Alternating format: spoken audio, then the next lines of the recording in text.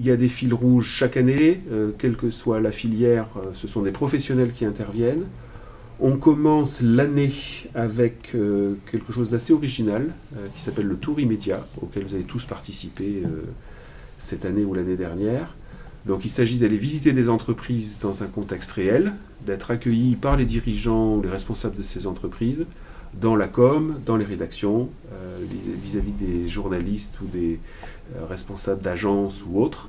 Euh, est-ce que vous pouvez, avant qu'on voit le film euh, dans un instant, nous dire quelle entreprise vous a marqué quand vous avez fait cette visite en début d'année Est-ce que vous en avez retenu euh, Qui veut commencer? Louis Ok. Alors, donc moi, l'entreprise qui m'a le plus marqué, c'est SoFoot, donc un magazine qui parle de foot et plus généralement de sport. Et ça m'a intéressé parce que le directeur de la boîte était venu de lui-même pour passer du temps avec nous. Et donc euh, c'est pour ça que c'est l'entreprise qui m'a le plus marqué. D'accord. Donc là vous avez été directement accueilli par le dirigeant et en tant que futur journaliste vous avez pu poser toutes les questions sur euh, le journalisme sportif. C'est ça. On continue avec Marie. Donc vous, c'était il y a un an. Qu'est-ce qui vous avait marqué euh, On a fait la première année de, enfin on a fait la première édition du.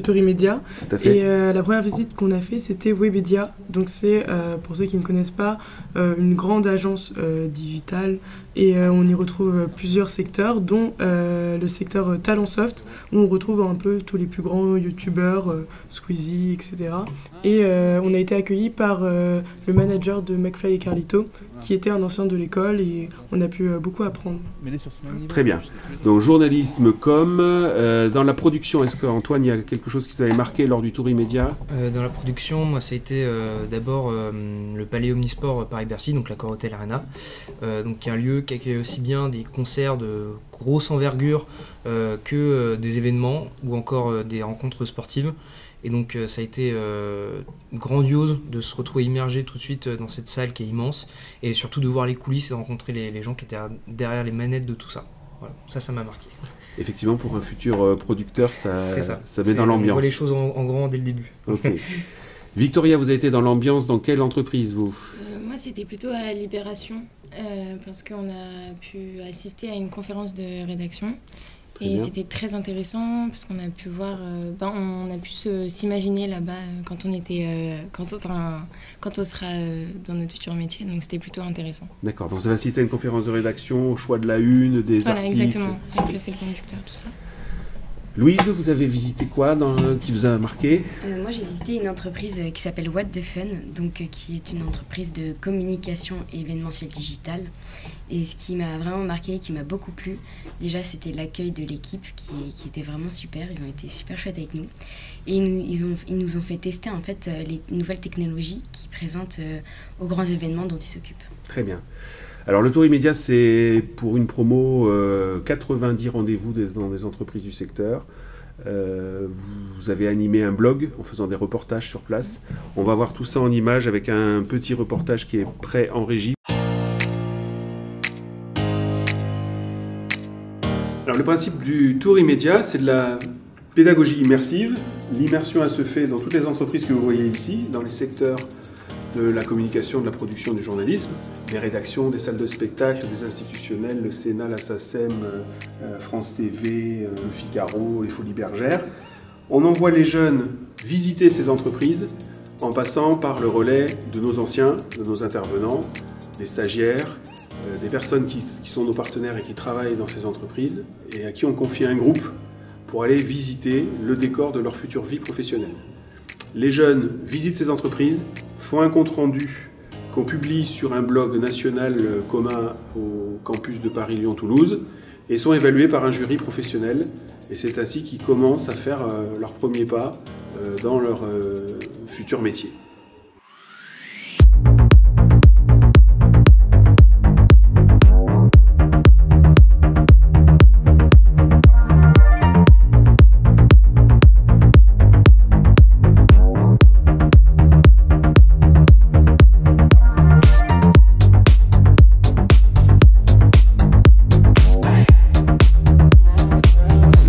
Rentrée, on réserve à tous les étudiants de première année une petite surprise en leur offrant un stylo ISCPA Et on leur offre en parallèle un kit Mojo équipé d'une perche, d'un trépied et d'une batterie externe pour leur permettre de prendre des films pendant toute la durée de leur scolarité et encore plus pendant le tour immédiat pour résumer et raconter ce qu'ils visitent. Le tout est équipé d'un micro, ce qui leur permet de faire des interviews et de prendre du son de manière professionnelle.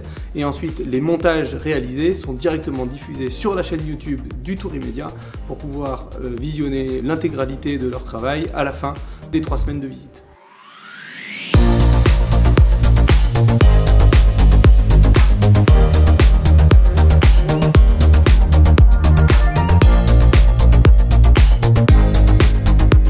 Super avec le Tour Média, c'est qu'on a pu euh, visiter euh, plein de structures dans lesquelles on rêverait de travailler, euh, qu'on a pu parler aux professionnels qui étaient très accessibles, on a pu leur poser plein de questions et puis ça nous a mis directement dans le bain parce qu'on avait des deadlines pour des articles à rendre et des vidéos et ça nous a obligés à travailler en équipe.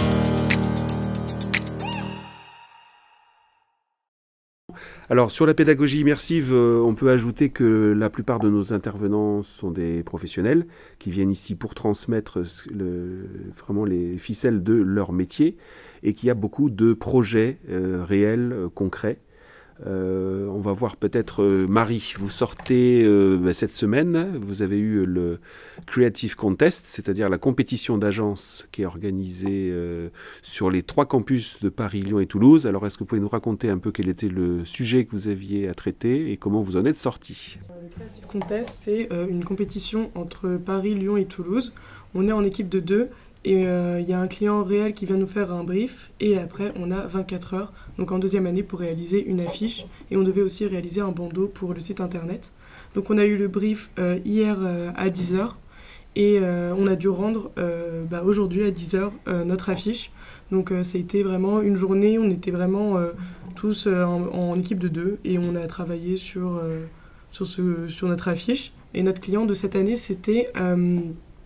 Euh, WebWeGo, c'est euh, une euh, assurance voyage qui, qui vise les 18-35 ans et qui s'adapte, qui simplifie le fait pour pouvoir partir et être assuré en quand on part en voyage. Très bien.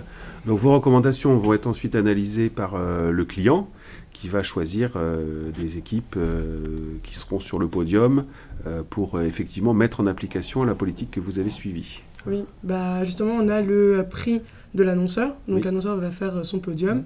Et on a aussi le prix du public. Donc euh, sur la page euh, du Creative Contest ISCPA, là nos affiches sont publiées et on, et on laisse le public voter. On a une semaine. Donc vous pouvez voter pour mon affiche, c'est la meilleure. Équipe 21, merci. Très bien, le message est passé. on va donner un autre exemple avec Antoine qui a l'an dernier euh, participer euh, activement au projet euh, Gibus. Live. Live. Donc, bah, est-ce que vous pouvez nous expliquer en quoi ça consiste? C'était une activité pour tous les prods première année. C'est ça. C'est le, gros projet de l'année de tous les premières années de production. Donc, en fait, on se réunissait pour avoir un objectif, enfin, remplir notre objectif qui était de créer un spectacle live de A à Z. Donc euh, écriture du scénario, euh, recherche de, lieux, que ce soit des salles, euh, ce genre de choses, théâtre ou autre, financement, budget, la communication, l'organisation, les plannings, voilà. Donc là on est vraiment dans la pure prod. voilà. donc on s'est mis par équipe.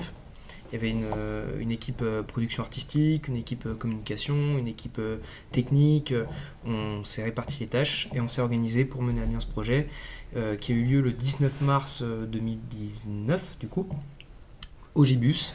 Euh, on a réalisé un spectacle qui retraçait l'histoire du hip-hop et de la culture hip-hop euh, à travers le temps, donc euh, sur une chronologie des années 70-80 à nos jours. Donc euh, on a pu avoir des, des, concerts de, rhythm and blues, funk, jusqu'à de, la danse, des, des, performeurs de danse dans le disco, dans le, dans le hip-hop et la, le breakdance, jusqu'à jusqu'à des, concerts de rap en fin de soirée. Et tout ça avec des animations, enfin un fil conducteur avec un présentateur animateur pendant toute la soirée et euh, par exemple, il y avait le digital graph aussi où les gens pouvaient, venir euh, faire leur tag sur un, sur un écran, donc en digital. Euh, voilà, donc on a essayé de faire une, une soirée pluridisciplinaire qui soit pas simplement un concert et d'innover un peu. ça a été une vraie expérience sur le terrain dans la prod. Avec plus de 400 personnes qui sont venues vous rejoindre pour effectivement, cet événement. Donc, ça, ça, a été une réussite sur le plan billetterie aussi. J'en ai été bien accompagné aussi. on parle de coalition ou pas Modala qui a été super que je salue s'il nous regarde parce que voilà, il nous a vraiment très bien euh, accompagnés et, euh, même, euh, enfin, ça a été très, très instructif dans la mesure où la prod, c'est on se fait des plans, on prévoit quelque chose, on a envie que ça arrive à terme.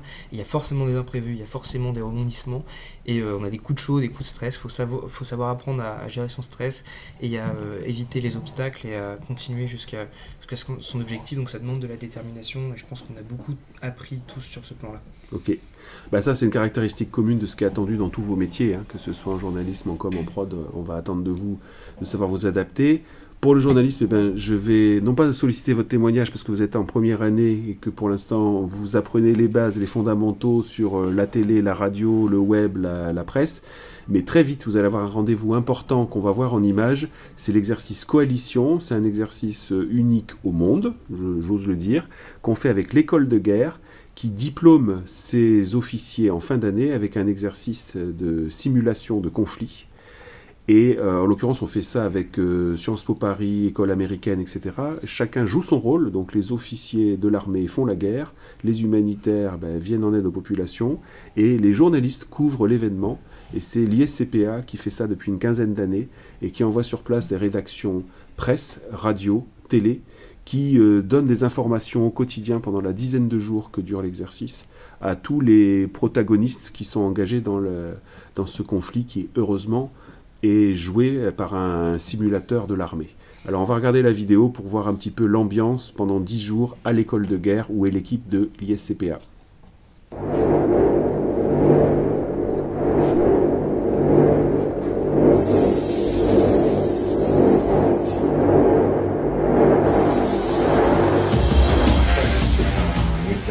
appuyé par ordinateur. on a deux états-majors qui vont se faire la guerre, l'un contre l'autre.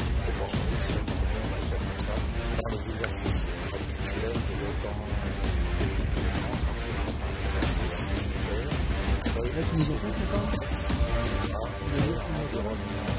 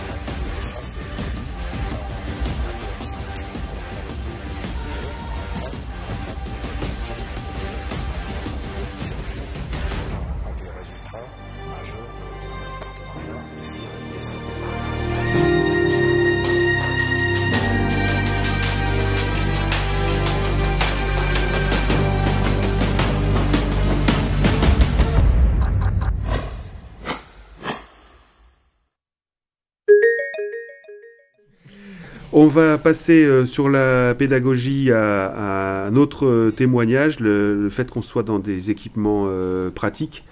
Ben, ça fait qu'on sollicite beaucoup les intervenants. Vous avez tous en tête les intervenants professionnels qui viennent nous voir. On va regarder également en image ce qui se passe euh, quand on décide de faire un nouveau plateau télé, comme celui sur lequel on est installé aujourd'hui. Et on enchaînera aussi avec l'organisation des jurys de radio. inside my head. I'm fired up and tired of the L'intérêt d'avoir un plateau télé comme ici à l'ISCPA, c'est vraiment de mettre les étudiants en configuration typique professionnelle, que ce soit euh, les interviews, les reportages. Euh, ça permet vraiment du coup de jouer sur différentes actions de plateau, que ce soit sur un plateau desk, on va avoir un présentateur et des chroniqueurs, que ce soit la réalisation de duplex qu'on peut faire vraiment en temps réel grâce à l'application Skype. Un coin cosy, ça veut dire un coin où on peut vraiment faire quelque chose d'un peu plus léger. Et puis enfin, on a vraiment un coin euh, Expliquez-nous, ça veut dire qu'on peut vraiment jouer avec le wall et le mur et des infographies euh, pour faire du décryptage sur une information.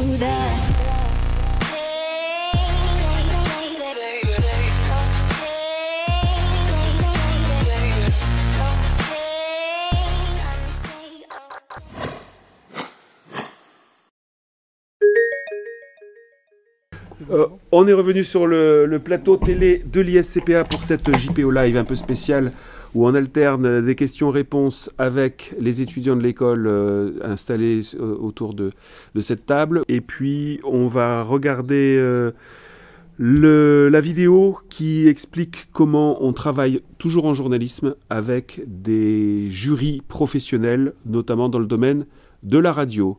Quand vous êtes prêt en régie, c'est parti.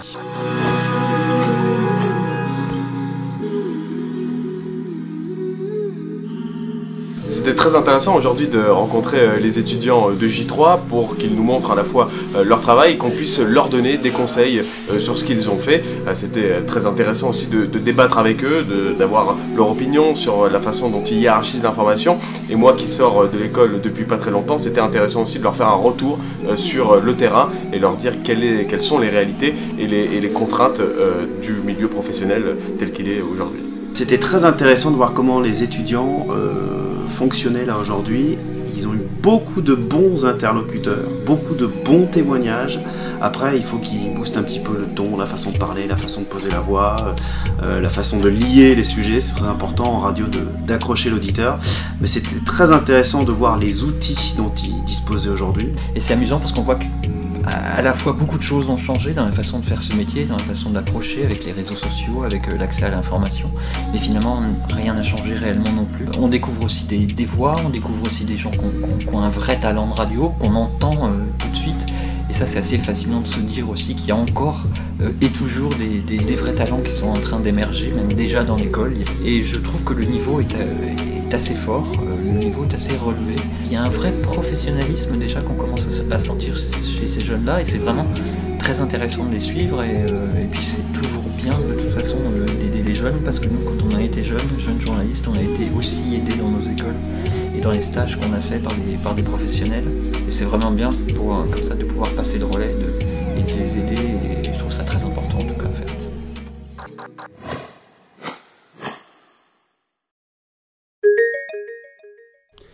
Retour sur le plateau, euh, je suis toujours en compagnie des étudiants de l'école en première et deuxième année. Alors pédagogie immersive, ça veut dire qu'il y a beaucoup de travaux concrets et pratiques, mais il y a quand même un emploi du temps, euh, il y a des cours, il y a des profs, euh, il y a même des examens, ça arrive. je me tourne vers Louise pour qu'on ait un échange sur la façon dont vous vivez un peu une semaine ou une journée type.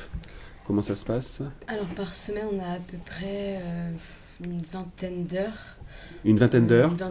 Parlez bien fort dans le micro pour euh, que tout le monde vous entende. Donc euh, une vingtaine d'heures qui euh, se, se, dispersent du, après 9h, 17h par jour, sans compter les travaux de groupe qu'on fait par, par équipe. Parfois ça déborde sur notre day off, donc qui est un jour où on n'a pas cours. Nous, cette année, c'est le lundi, donc ça nous fait un week-end de trois jours. C'est très pratique pour travailler en équipe. Donc voilà, on a beaucoup d'exercices entre guillemets professionnels qui sont des, des, modules en quelque sorte de cours dispensés par les intervenants professionnels. Donc, euh, comme vous disiez, c'est une pédagogie immersive parce que bah, on peut faire des exercices qui sont basés sur des vrais produits, sur euh, des, vrais, euh, des vrais cas qui nous sont donnés par les professeurs qui sont aussi des professionnels. Ok, donc c'est ça, le, principe c'est d'allier la théorie à la pratique en permanence avec des intervenants qui vous posent des cas réels, qui vous donnent les moyens de les, résoudre et de faire vos propositions concrètes. C'est ça, en fait. Le day off, euh, peut-être je me tourne vers les deuxièmes années. Le day off, c'est quand pour vous? Nous, c'est le mercredi. C'est le mercredi. Le mercredi. Oui. Alors, qu'est-ce que vous faites de votre day off? Euh, bah, moi, je m'en sers surtout le soir. Euh, vous servez du, votre day off le soir Ouais, et le, en journée, surtout aussi déjà pour travailler. C'est rare que euh, j'ai des day off où j'ai vraiment rien à faire. En général, je les utilise. Et pas plus tard que mercredi dernier, donc on était le 4 décembre, j'avais, j'ai été rappelé par la boîte qui m'avait pris en stage pour, pour bosser sur un concert parce que régulièrement, ils me rappellent. Il y a pas mal de dates parisiennes qui font le mercredi soir en, ce moment. Donc euh, le mercredi soir, euh, je bosse avec eux.